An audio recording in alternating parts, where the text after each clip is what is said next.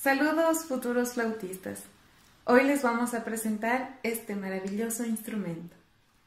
La flauta traversa, a pesar de estar hecha de metal, forma parte de los instrumentos de viento madera, pues en antigüedad era construida con este material. Se divide en tres partes. Así tenemos la cabeza,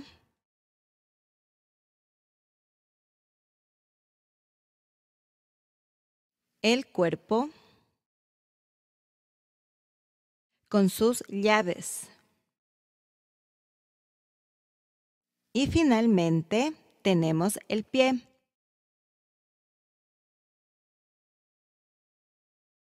La encontramos en diversos materiales.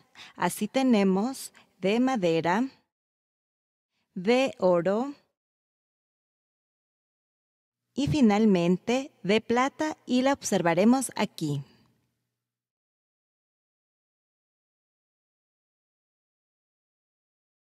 Si anteriormente te gustó la flauta traversa, pues ahora te va a gustar mucho más, ya que tiene un hermanito pequeño llamado piccolo, el cual tiene las mismas características de una flauta traversa, pero es más pequeño y su sonido es mucho más agudo.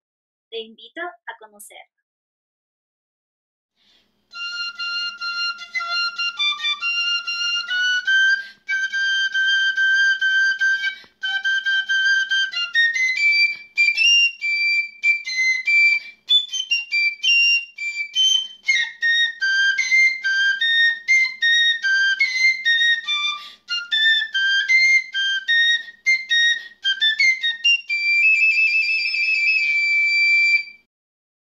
Es muy interesante, ¿verdad? Y su sonido es tan bello como el canto de un pajarito. Espero te haya gustado.